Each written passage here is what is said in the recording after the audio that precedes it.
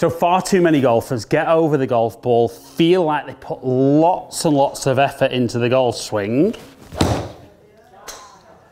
but get that high, very soft flight. And we can see there, 86 mile an hour club head speed for only 132 yards carry. And yet when we watch the pros play, setup might be very similar, but it looks so effortless. And we see more speed, huge amount more ball speed, better striking, and a huge difference in carry. So, what we're going to talk about in today's video is how, with one area of focus, you're going to change your impact position from being like this to much more like you see the best players in the world. So I think the first thing we need to talk about is why do most club golfers initially not get into that position? Why do we see much more of this? Now, as a general rule, golfers try and do five things. Let's see how many you try and do. Try and hit the ball, try and get the ball in the air, try and make the ball go straight, try and make the ball go further, and try and strike the ball correctly. And I think for a lot of golfers, it's the getting the ball in the air. So they're trying to get underneath the ball. And what that causes is even though if the backswing's good, as they're coming down, this angle here gets lost really early. So it creates that kind of scooping motion, adds loft to the golf club, very often gets the low point behind the golf ball. So the club's kind of either hitting the ground or traveling up with lots of loft. And it's just a very glancing blow. Whereas the best players in the world they get back, downswing, the lower body moves towards the target, then the upper body unwinds, then the hands and arms go, and the last thing in the race is the club head that's getting there. So that's the kind of concept I want you to feel, is that whatever you would normally be doing for that weak, soft flight, I want you to think about from the top, we're gonna move towards the target, turn the body, and try and let the hands lead. So we're going to maintain, hold on to that as long as we can, and then almost feel like you throw the club down into the ground. Now it will feel hugely different. And what I would say initially, if you're doing this working through the video with me and you miss a couple to the right, that's okay. So we want that feel. And even for me, that probably feels I move a little bit earlier onto that lead side. So, what we're seeing before, club head winning the race, popping the ball in the air, no control, and just not a particularly impressive shot for the speed going in. But we're going to rehearse that little move, and like we said, club head is the last thing in the race rather than the club head winning the race. So we're going to get there Feels good as a practice swing. That was great. So we see good club head speed, 89 mile an hour, low point ahead, so the club's traveling down. The launch angle is almost half what it was before. Ball speed jumps up, and more importantly, carry jumps up a huge amount.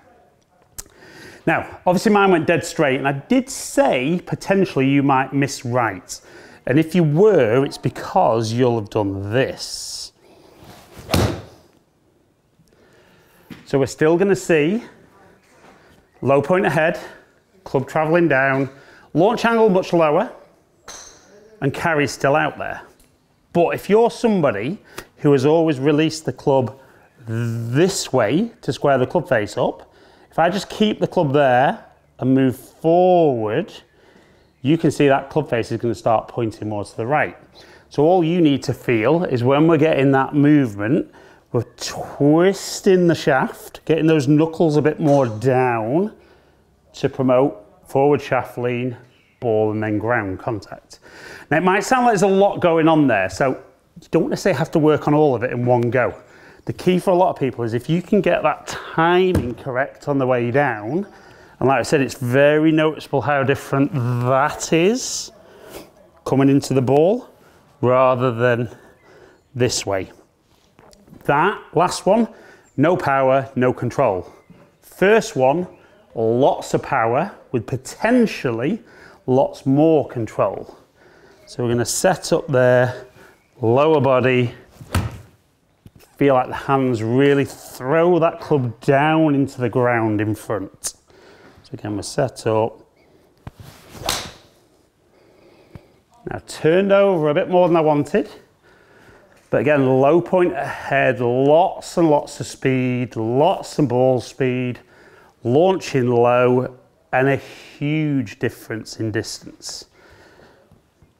So again, from there, we move, upper body's turning, I'm not releasing the club, and then I'm just firing the club last minute, feel like I'm throwing it down into the ground. Now, I do this with pupils all the time, and the look on their face when they hit that one, it's like playing a different game. So that's what we want from you. Get up there, focus on the movement.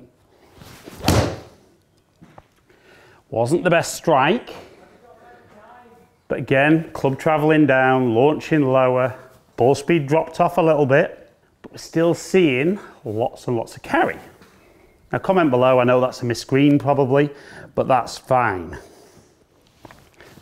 Really very different timing. Remember, we never want the club on a full shot winning the race. Got to be the last thing that gets there from the ground up. Stand there, hit another ripper, and if you can change that timing, you're going to see more club head speed, more ball speed, nice crisp strike, and more carry like that one at 189 than you've ever seen before. Now, it is important that you potentially do that without the ball to begin with. Get the feel of what the movement's going to be like. We are looking to launch the ball lower, get the energy from the club head into the golf ball. And if you can practice that and get comfortable and take it onto the golf course, well then you're going to start striking it like the pros and less like you normally do.